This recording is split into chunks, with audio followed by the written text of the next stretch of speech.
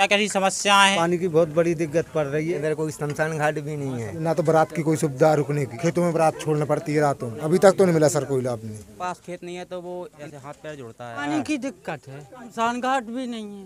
पानी की ज़्यादा कमी है। अभी मिला नहीं है। बच्चे रात के बाथरूम बाथरूम में जा तो लेकर बाल्टियाँ दिया फेंक नहीं आओ यहाँ सबसे ज़्यादा समस्या है पानी की। कुछ देन है कांग्रेस पार्टी के शंकर प्रताप सिंह मुंडा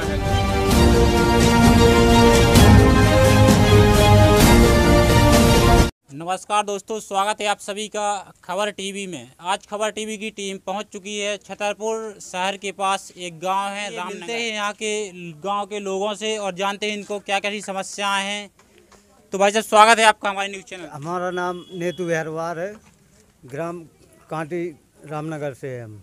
हमारी कोई समस्या नहीं यहाँ पर ये समस्या है कि हमको पानी की बहुत बड़ी दिक्कत पड़ रही है। हमारे बच्चे बड़े तंग होते हैं पानी के लिए। नहाने के लिए पीने के लिए हमको पानी की व्यवस्था नहीं है। बाकी कोई हमको गाँव में शासन के द्वारा जो हेड पंप लगवाए जाते हैं बोर कहीं कहीं पे करवाए जाते हैं पानी की सुविधाएँ करवाई जा रही हैं तो क्या आपके गाँव में सुविधा नहीं करवाई जा रही भाई? है बोर तो नलका तो लगा हुआ है मगर उसमें पानी नहीं आ रहा है। खराब हो गया कोई हाँ और पहले एक बार व्यवस्था ये भी है कि इधर इधर कोई शमशान घाट भी नहीं है। हमारे लोगों का जाए कि कोई अहरवार समाज के कोई मृत्यु हो जाती है तो हमको अगर हमारी जगह है कहीं पर तो हमको वहीं पर जलाने ले जाना पड़ता है। हमको प्रशासन की तरफ़ से कोई ये सुविधा नहीं है कि हम वहाँ पर अपना, यानी कि जलाने की कोई व्यवस्था हो अपने तरफ़ से। जैसा कि दोस्तों भाई साहब ने बताया कि इनके यहाँ पे शमशान घाट की बहुत बड़ी समस्या है जो कि इनकी समाज का अगर किसी की मृत्यु हो जाती है तो इनके यहाँ पे शमशान घाट नहीं है और भाई साहब आपका क्या नाम है? राजेंद्र। अच्छा तो आप थोड़ी सा आपके गाँव की आपको क्या समस्या है? सर ना तो बारात की कोई सुविधा रुकने की। अच्छा। जैसे हमारे यहाँ तो खेतों में बारात छोड़ना पड़ती है रातों में कोई सुविधा नहीं सर। जैसे कि शासन की अभी योजना चल रही है आपने सुना होगा लाडली बहना योजना लागू की है तो इसकी क्या कहते हैं आपके गाँव में महिलाओं को इसका लाभ मिल रहा है? अभी तक तो नहीं मिला सर कोई लाभ। महादेव हरवार अच्छा महादेव जी जैसे आपको आपका घर कहाँ पे यहाँ पे आपको वो प्रधानमंत्री आवास योजना की सुविधा मिलती है वो मिली है? जी। और थोड़ी समस्या बता दीजिए आपके यहाँ समस्या ये है कि इस मोहल्ले में उस मोहल्ले में पानी की ज़्यादा कंडीशन ख़राब है फ़िलहाल में।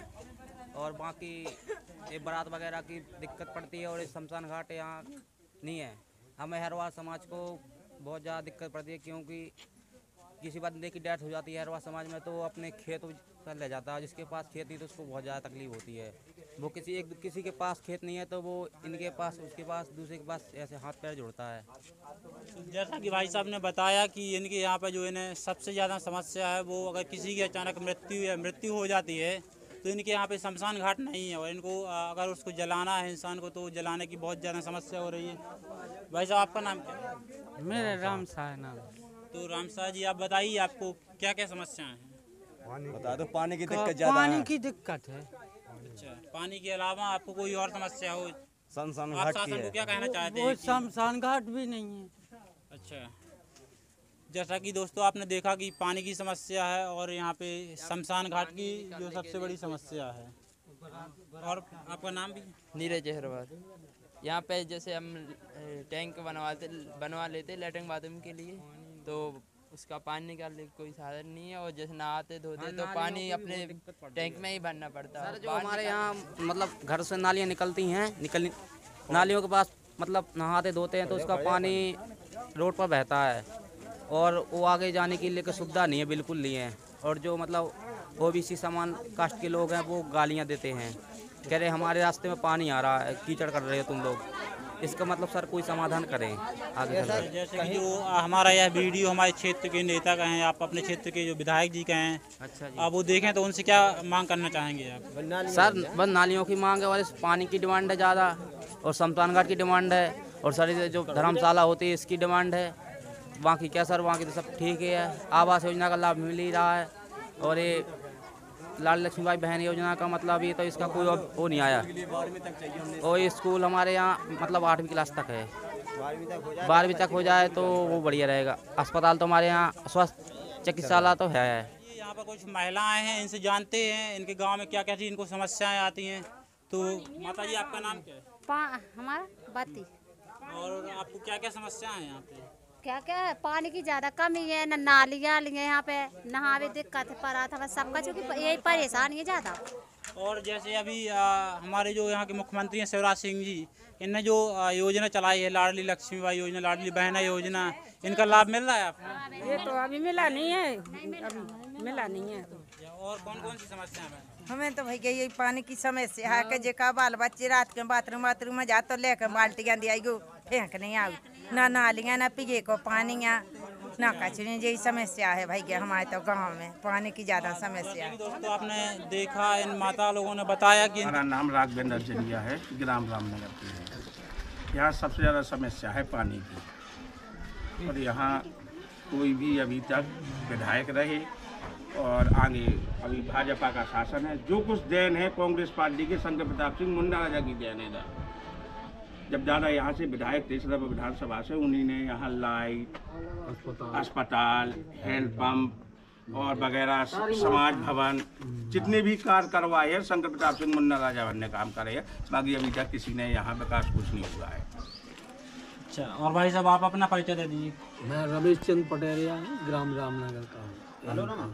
कटहरिया जी आप थोड़ी सी अपने गाँव की समस्याएँ बता दीजिए जो भी है। ये हमारे इधर स्कूल भी नहीं है बच्चों के लिए और ये गाँव में ये जल योजना हो जाए तो ये अच्छी हो जाए और विकास और चाहिए सब कुछ चाहिए हमको थोड़े थोड़ा। अच्छा स्कूल यहाँ पर बिल्कुल भी नहीं है आठवीं तक आठवीं है अच्छा, तक स्कूल आठवीं तक आगे चाहिए। अभी तो अभी तो आठवीं का और पांचवीं का हमारे यहाँ सेंटर भी हुआ था रामनगर में जो कि चार पंचायतों से बच्चे भी इधर आए थे रामनगर जैसे बरकुआ पंचायत सरानी पंचायत और और कांटी पंचायत यहाँ सेंटर हुआ था पाँचवीं का आठवीं का।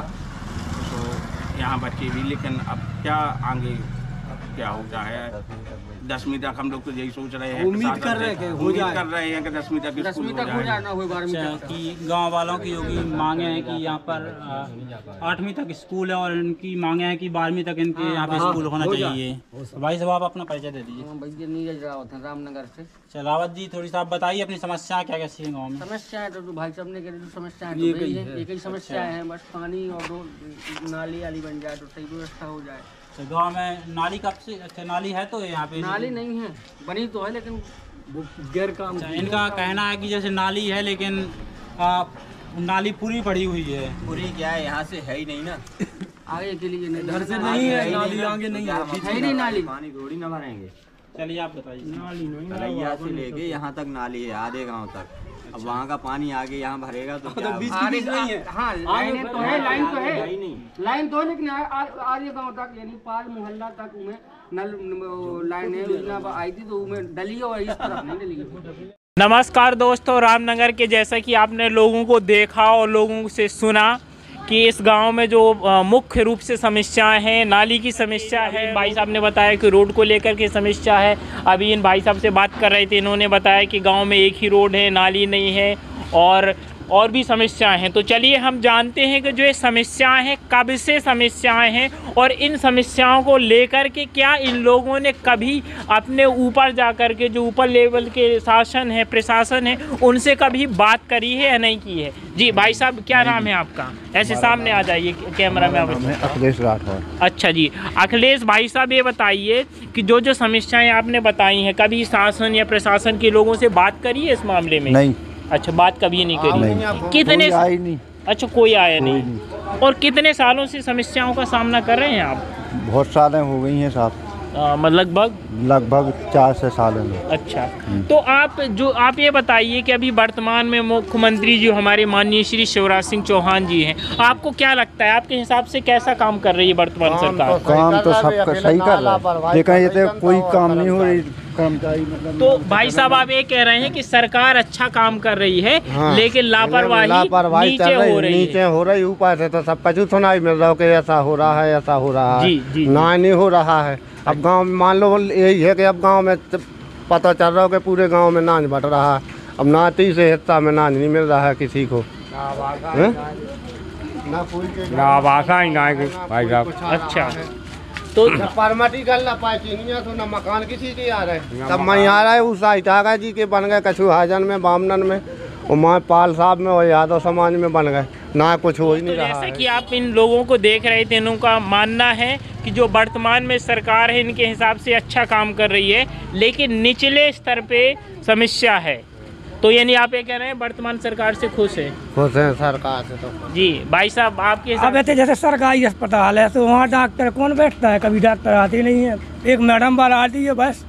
तो आपके हिसाब से वर्तमान सरकार कैसा काम कर रही है? कुछ नहीं कर रही वो तो कहा पाँच दो पाँच रुपये की बाजी कर दी गोली दे दी चले जाओ घर। अच्छा नहीं हम सरकार की बात कर रहे हैं जैसे मुख्यमंत्री सरकार से तो सब आता है। अच्छा सरकार सरकार से तो सब आता है। यही बस हाजिरी भरते हैं और बस घर जाते हैं। निचले स्तर पे। अच्छा तो आपके हिसाब से क्या लगता है कि जो विधायक जी आपके वर्तमान में हैं विधायक जी आए थे पज्जन भैया आए थे यहाँ पे एक दिन चमड़वा में बैठे रहे थे और बोल गए थे कि आए हेड पंप लगवा देंगे यहाँ पे पानी की व्यवस्था करवा देंगे नाली करवा देंगे। तो ना नाली करी है ना हेड पंप कहीं पे लगा है ना चमड़वा में लगा है ना कहीं पे लगा ही नहीं है। अच्छा। पूरे गाँव बस। जी भाई साहब आ जाइए थोड़ा ऐसे आ जाइए। आ जाइए कई बार जाते हैं, करते कुछ नहीं है कि हम ये करवा देंगे वो करवा देंगे।